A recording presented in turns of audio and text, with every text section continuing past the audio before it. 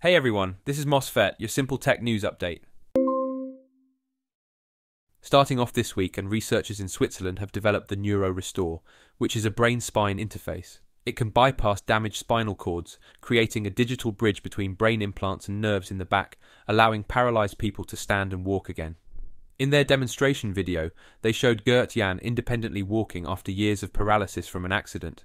The team claims that after only a few short training sessions, the system can decipher the signals between the brain and nerves, restoring function. Amazing. In electronics, Beeper has teamed with Square Fumi to create this Pi Zero powered handheld.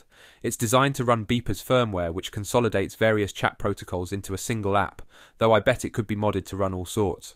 I really like the high contrast sharp memory display used. It's available now for $79.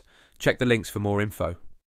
In similar news, Luke at MNT Reform recently announced he's working on a new, thinner version of the Reform Open hardware laptop, codenamed the Reform Next.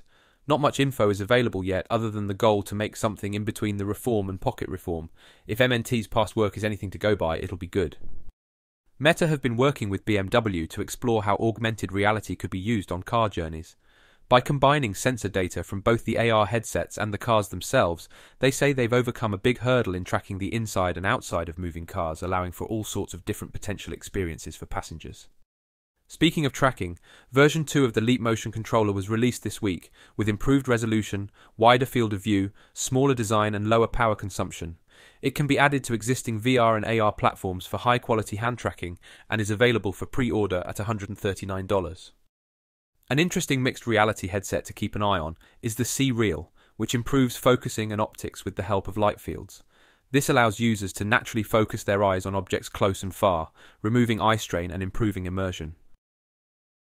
Moving on to flying machines, and researchers at EPFL have been exploring ways to make modular cargo drones that can scale up and down depending on the size and weight of the shipment. The thinking is that this approach will save companies from requiring a large fleet of different drones for different situations. In other drone news, DBT Aero unveiled their unique looking 3D printed double boxtail aircraft last week, sharing news of their third successful subscale test.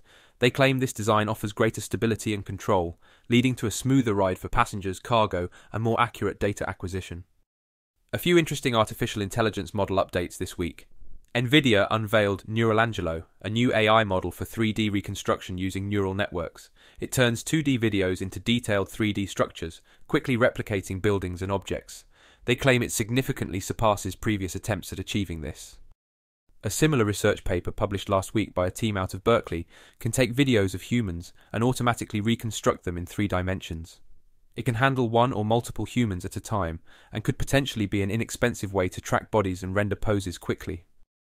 And for those looking for a new hairstyle, they might want to check out Hairstyle AI.